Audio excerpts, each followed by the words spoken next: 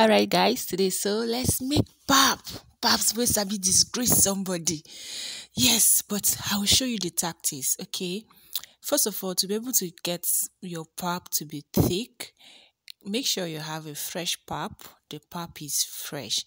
And again, if you're pouring water, like trying to dissolve it before you start um putting um hot water and all that, make sure you have a thick consistency. Like look at this consistency it is like very very creamy.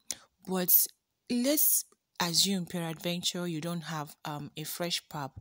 You will have to make it a bit thicker so you can get a um, a well formed pap because it is noticed that the longer a pap stays, the less likely it is to form. Okay, so when you have dissolved it, you boil your water and um, stir while you pour the hot water. And now the pap has formed very well.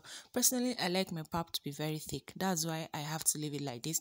Then when it has formed, I like to also turn, stir with the back of my spoon so I can be able to like kind of mix everything very well. There won't be any any crumbs inside okay at this stage if you want it to be lighter you can add more warm water or hot water, but don't add too much hot water because all got water. All right, so that is it, guys. Very simple to make. And now I have my fried plantain, some milk, and uh, breakfast is ready with the pop by the side. Thank you, guys. Bye.